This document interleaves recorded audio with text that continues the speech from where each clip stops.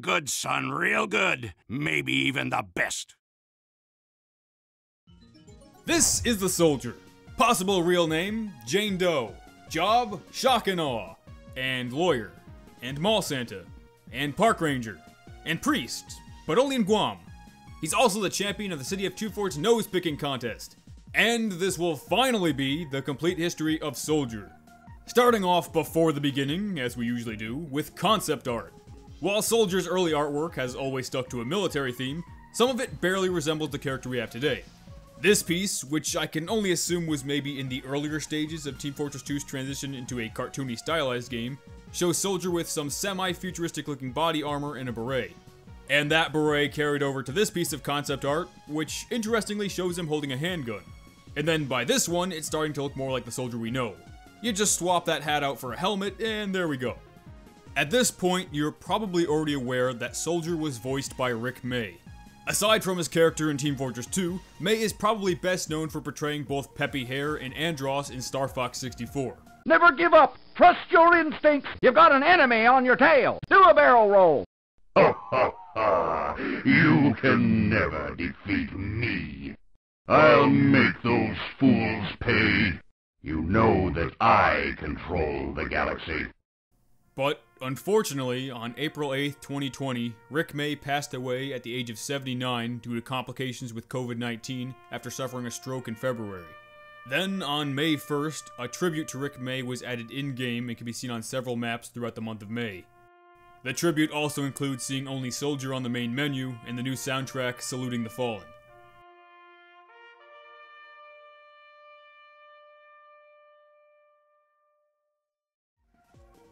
So, despite being called Soldier, Soldier was never actually in the military, which is a fact that he seems particularly insecure and defensive about.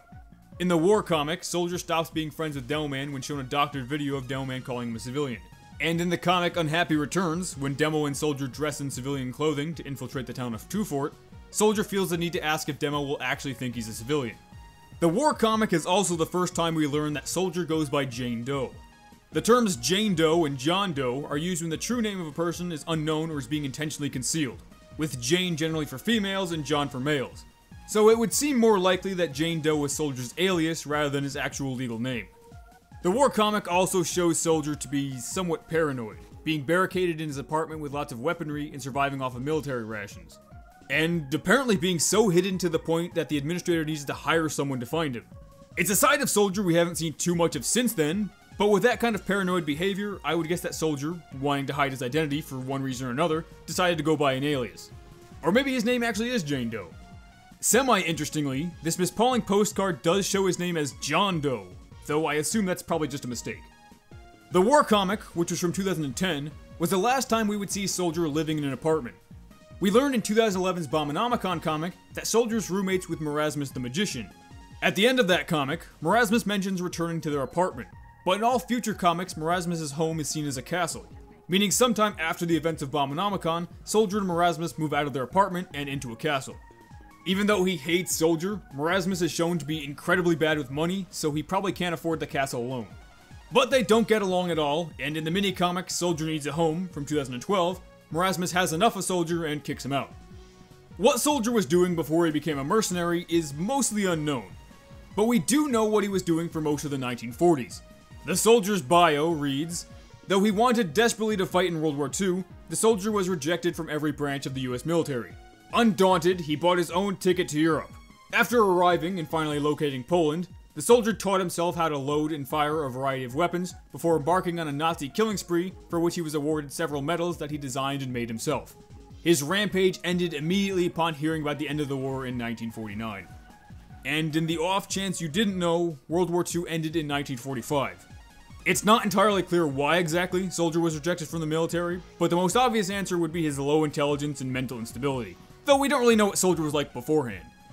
If we assume Soldier was actually of legal enlistment age at that time, it would give us a pretty good idea of how old Soldier is during the events of TF2. The US entered the war in December 1941, so for the sake of this, we'll round it up to 1942. And if Soldier was 18 in 1942, that would mean he was born around 1924, which would make him 44 during the main events of the game, and 47 to 48 during the events of Mann vs. Machine in the comics. And that seems like a pretty fitting age to me. That works. Though I guess he could potentially be a little bit younger if maybe he tried to enlist later during the war, or attempted to enlist at a younger age.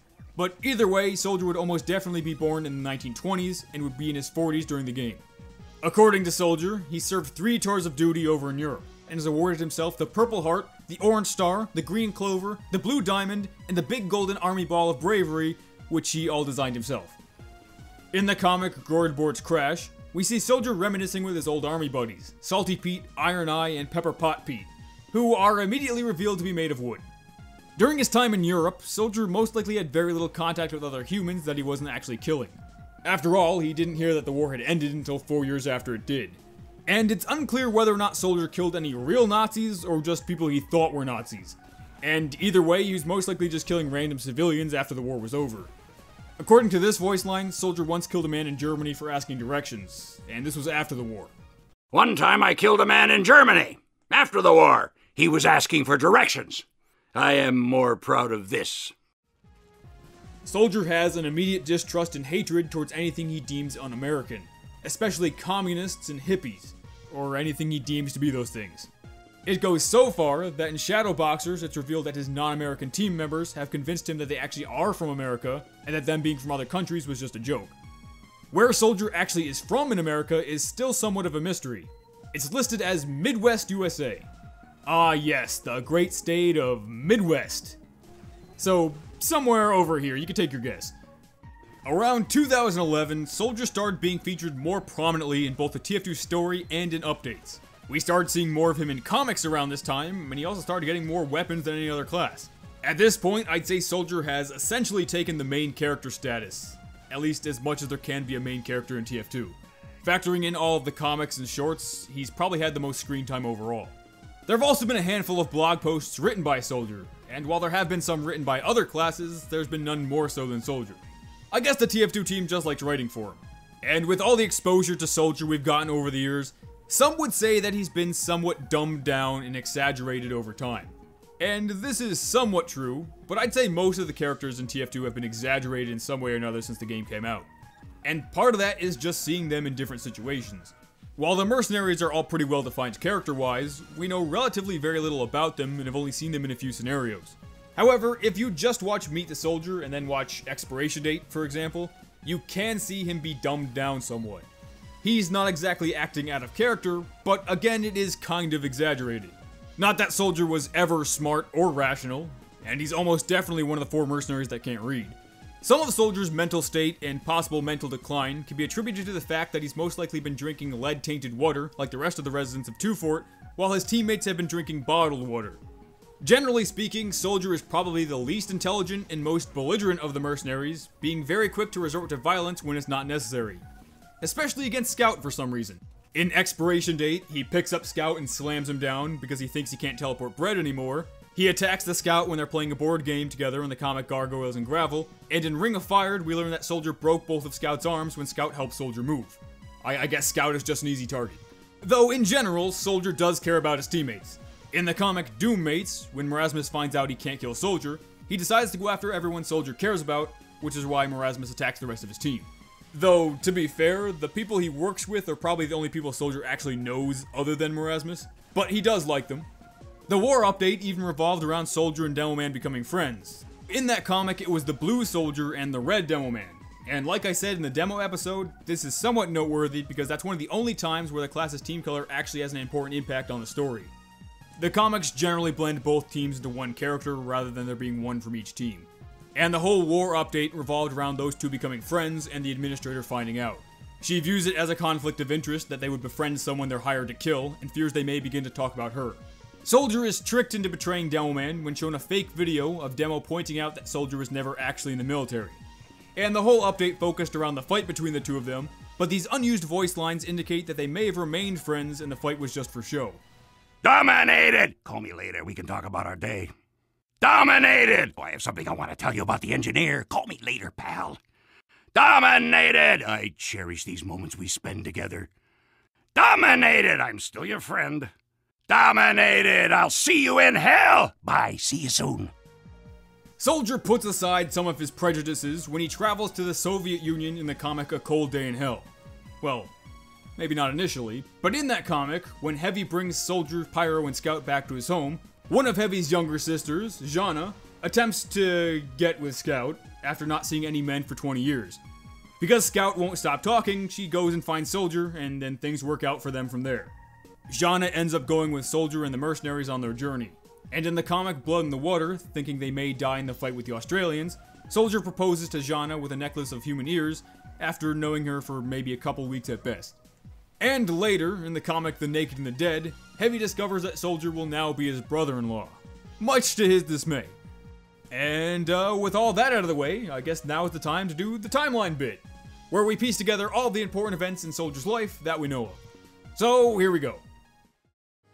Sometime, probably in the 1920s, Soldier is born somewhere in the Midwestern United States. When the United States enters World War II, Soldier attempts to enlist but is rejected from every branch of the military. He buys a plane ticket and flies to Europe and makes his way to Poland. Soldier teaches himself how to use various kinds of weaponry and then goes on a Nazi killing spree. Or at least what he thinks is a Nazi killing spree. This rampage ends in 1949 when he learns that the war has ended. In 1968, the soldier, along with eight other mercenaries, are hired by Red and Blue to fight the gravel wars in New Mexico.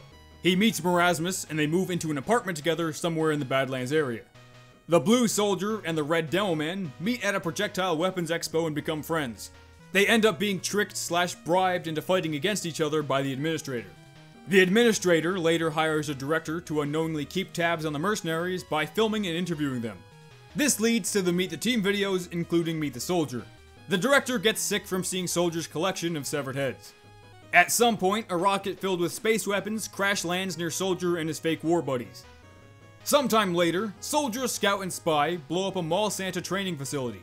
When this is brought to court, Soldier acts as their lawyer. They end up being sentenced to community service, where Soldier becomes a Mall Santa. Old Nick shows up and they kill him. In 1969, Merasmus invites himself to the mercenaries' Halloween party. He and the soldier get into a fight, and Merasmus sends Monoculus to attack them. Even though they don't get along, Merasmus and Soldier later move into a castle together. Merasmus has enough of him and eventually kicks Soldier out. He attempts to go live with Spy, but ends up being homeless for a time. In 1971, when the mercenaries think they have tumors caused by teleportation, the soldier spends what he thinks are his last three days alive teleporting bread. This creates a mutant bread monster that the team then has to fight. Later in 1971, the Mann brothers are killed by Gray Mann, leaving Soldier and the rest of the mercenaries out of work. Saxton Hale then rehires them to defend Mann Co from Gray's robots. On October 31st, 1971, Merasmus returns from WizardCon to find that Soldier has broken into his castle and buried refrigerators filled with sour cream in his yard. It turns out that that sour cream has attracted raccoons. In fact, so many raccoons show up that it ends up being labeled a raccoon sanctuary by the city. Merasmus is fined and then evicted from his castle, leaving it to the park ranger, which is Soldier. In December of 1971, Soldier, Heavy, and Miss Pauling infiltrate Grey Gravelco with their brilliant disguises and discover the new mecha engineer. In 1972, Gray and Olivia Mann take control of Mann Co and the team disbands. Soldier is evicted from the castle and now lives in a box. About six months later, Soldier is working as a tour guide giving tours to old ladies of what he claims are celebrity homes, when in reality he's just showing them empty fields that he claims soldiers died fighting in. When the old ladies want a refund, he brings them to the home of Tom Jones, who is Merasmus's new roommate. Soldier then kills Tom Jones. Miss Pauling arrives dressed as a police officer and takes Soldier away before the real police show up. They then begin their mission to get the team back together. First getting Pyro and Demoman and then heading to Two Fort to rescue Scout and Spy. Soldier, Pyro, and Scout then head to Russia to find Heavy. This is where Soldier meets Zhanna. They get Heavy to rejoin the team, and Soldier, Zhanna, and Spy go to an Australian naval base to get a submarine. Soldier, Zhanna, Miss Pauling, Sniper, Pyro, Demo, and Spy then take that submarine to the lost country of New Zealand to try to find any remaining Australium. But the Team Fortress Classic mercenaries, and Medic, show up to capture them. They're brought back to Grey Gravelco. Soldier and Zhanna are tortured by the TFC Pyro. Zhanna breaks free by severing her own hand and rescues Soldier. They free the rest of the team, get backup from Saxton Hale and the others, and fight and beat the Team Fortress Classic team. And, as usual, that's where it ends for now. Alright, that was that was a long one, but I always knew it would be, which is kinda why I kept putting it off. Like I said earlier, Soldier is more or less the main character at this point, so a lot of stuff does revolve around him. And even if Rick May might be gone now, the characters he played aren't dead. They are going to live forever. Or at the very least, they aren't filled with tumors. This was a bit of a sad way to end the main part of the Complete History series. But hey, it's like, it's kind of like my own tribute to the guy who voiced one of the best characters in one of the best games of all time. And he will be missed. And of course, I want to give a special thanks to Cool Stuff, Varric, and everyone else on Patreon. And if you like this series and want to see any future episodes early, you could consider checking that out. And uh, I'm actually not really sure who to make a video on next. Uh, I mean, I have some ideas, but oh, oh, hang on. Hey, after breakfast, I've got a job for you. And on a personal side note, am I getting my complete history video?